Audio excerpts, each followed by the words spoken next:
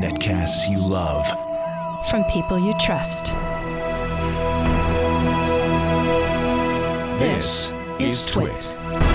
Bandwidth for i5 for the iPhone is provided by CacheFly at C-A-C-H-E-F-L-Y dot com. This episode of i5 for the iPhone is brought to you by Gazelle, the fast and simple way to sell your used gadgets. Find out what your used iPhone, iPad, and other Apple products are worth at gazelle.com.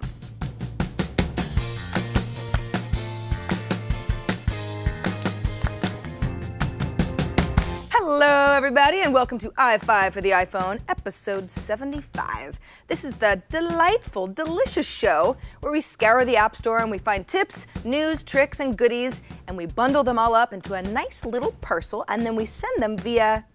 Nah, no favorites. Number one.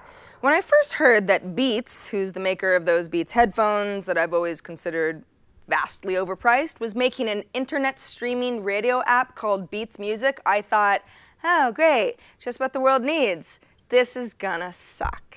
But after playing with the app a bit, I think I'm gonna backtrack because it's actually pretty cool. So before I show it off, keep in mind, this is a $10 monthly subscription based model, kind of like Rdio or Spotify, but I signed up for the free seven day trial, which is fully featured.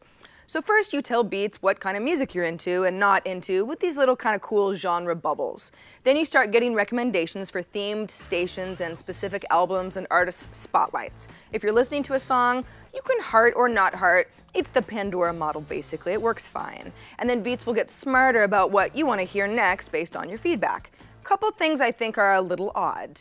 The main Just For You tab makes sense. It's what Beats thinks I want to hear, and it works pretty well. But the Sentence tab is supposed to help me explain what music I want to hear in like a Mad Libs format. Okay, very gimmicky. I don't really need to feel like my music app is a comedian. Also, I can choose music that fits under certain activities. So I definitely get something like getting ready to go out music or chilling out music.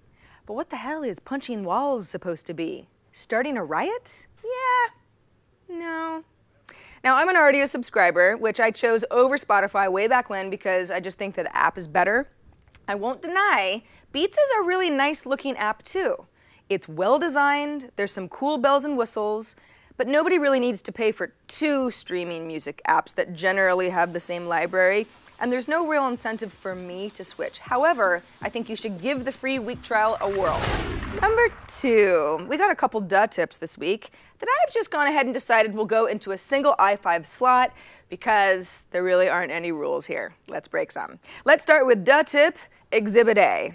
Sam writes, Hey Sarah, I just wanted to let you know that in multitasking you can scroll through apps at two speeds. Swiping on the card moves slower than swiping on the app's icon area. This tip also works on iPads. Well, Sam, I did some testing and you appear to be correct. I guess Apple probably figures if you're swiping on the cards, you're trying to look for a specific page and you don't want it whizzing by too fast. Good catch. On to duh tip, Exhibit B. Reed writes in with a tip about sports. Yeah, I put a little sports in this show. He writes, if you look up a live score, say UCLA basketball using Siri, and then leave Siri on, it will continue to tell you the latest score as it changes. Okay, now this I did not know. You might be thinking, well, I don't want Siri like squawking at me every time a score changes, but what if you're in the car and there's no radio station option? That has happened to me before. It's very frustrating. Or you're trying to keep tabs on a, a low scoring game, like a soccer game, and you just want an occasional update. You know what I think about this tip, Reed? Go!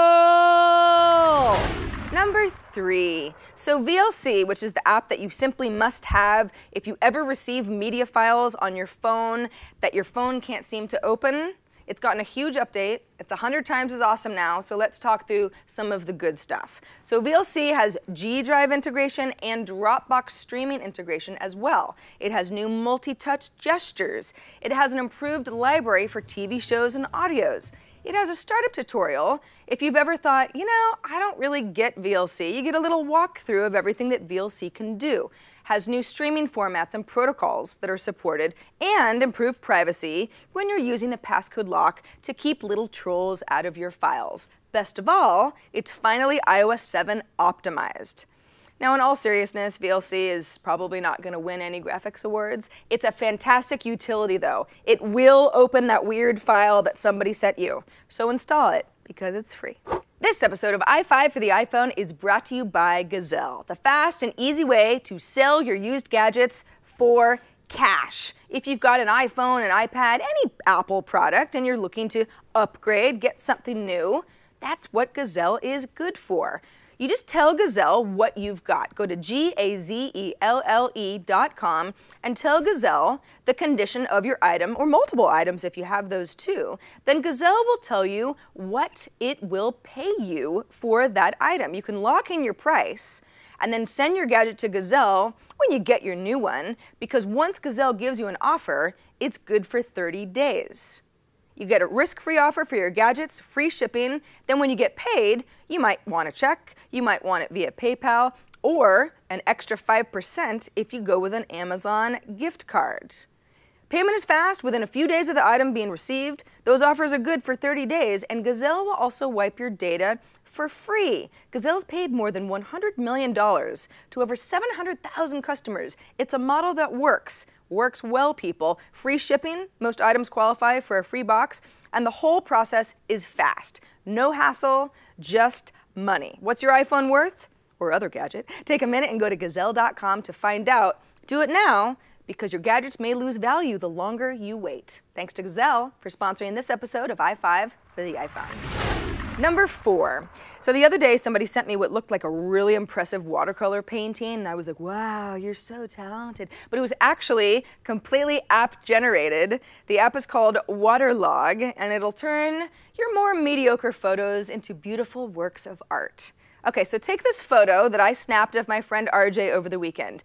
On its own, not an amazing portrait, not my best work, but check out what happens when I open up the same picture in Waterlogue and then apply one of my Waterlogue filters. Ooh, all of a sudden it's quite lovely. Once you find a filter that you like, you've also got an intensity dial and a few brightness controls. It's fun, I have to say. For a $2.99 app, I was more impressed than I thought I'd be. So unleash your inner Van Gogh. Well, without the insanity part finally, number five, our very own web engineer at TWiT, Patrick Delahanty, forwarded me a very interesting duh tip, and it has to do with love. Here it is, in his words. When my Canadian girlfriend visits the US, she doesn't have a data plan. If I try to send an iMessage, it won't go through and I never see the delivered confirmation unless she's on Wi-Fi. However, I can tell my phone to send it as a text by pressing and holding on the failed iMessage and selecting Send as Text Message. But if you do this, beware of any texting fees, particularly if you're texting a foreign number. Aha, this is a good tip, especially because even though iMessage is a lot less wonky than it used to be, it's still good to know when it is and isn't working and not have this confusion over whether or not your loved one received your sweet nothing. There's no reason to break up over a text. There's no reason to break up over text either. Don't be like that. Oh, one more thing. Last week we had Wells, the surgeon, asking about ways to curb most notifications, but not all of them when he's in surgery.